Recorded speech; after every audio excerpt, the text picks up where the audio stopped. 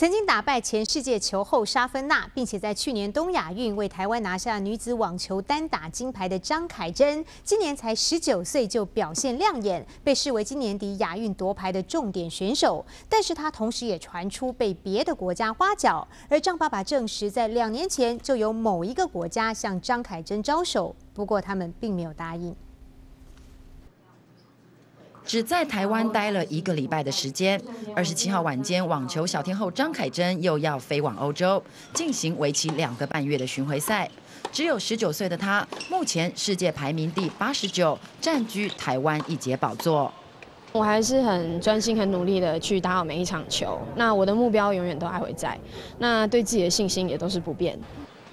打败过前世界球后 Safina，还在去年东亚运拿下女单金牌。张凯珍现在对自己的期许是打入四大满贯赛，并把世界排名推进到前五十。正因为年纪这么轻就有如此亮眼的表现，让她与好友高球小天后曾雅妮一样，受到其他国家的青睐。张爸爸证实，两年前某个国家就向凯珍招手了。目前的接触过程。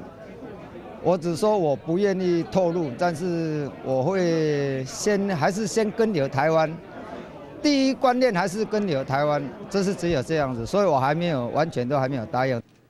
张爸爸不愿透露是哪个国家招手，但也表示凯珍现在虽然有五个赞助商，不过长期征战海外的费用相当可观，像体能教练所需的四五百万，现在还不知道从哪来，因此明年会设下停损点，再来思考是否真要跟留台湾。记者小魏沈志明台北报道。